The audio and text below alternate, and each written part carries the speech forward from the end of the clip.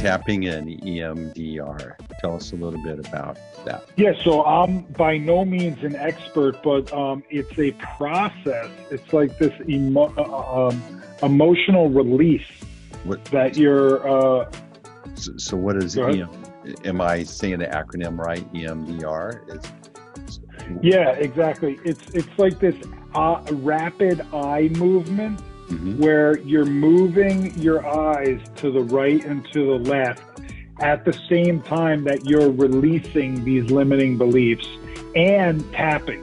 So you're like tapping on the back of your neck. There's a gland back here uh, I don't know the exact name of it, but it's basically between your spine and your um, right side of, of your neck. So right there. So you're tapping and you're moving your eyes back and forth. It's really weird, by the way. Yeah, it sounds. but it sounds really hippy dippy, but but the essence of it is you're training your brain to expect something else other than what it's been anchored on. Correct? Yeah, to release these beliefs that you've wired your brain with, similar to what you were saying. Mm-hmm. So, for instance, you would say a limiting belief would be change is difficult. Most people believe change is difficult, and that's a limiting belief.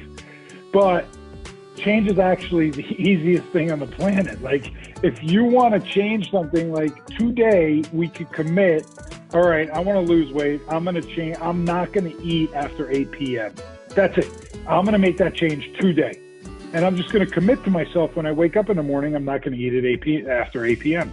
And I'm going to do the same thing tomorrow and the same thing after that. Ch- change is very easy. But for some reason, we we go automatically to the end goal of, oh my God, I want to lose 20 pounds. It's going to be impossible to lose 20 pounds. I can't lose 20 pounds. I can't change.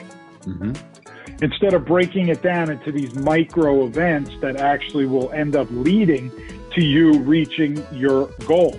So, you know, you're you're tapping the back of your neck, you're moving your eyes back and forth, and you're saying out loud for like a minute straight, um, uh, change is easy. Right? Change is easy, change is easy, change is easy. And so first you clear that change is difficult, then you do the opposite and you input change is easy. Hey, thanks for watching these golden nuggets. And as a reward, I got another big fat golden nugget just for you. I wrote this book for you to help you get your act together online so you can grow your business better. You're searching, you want to learn. This is a great book. Grab the book, grow your business. Amazing, right?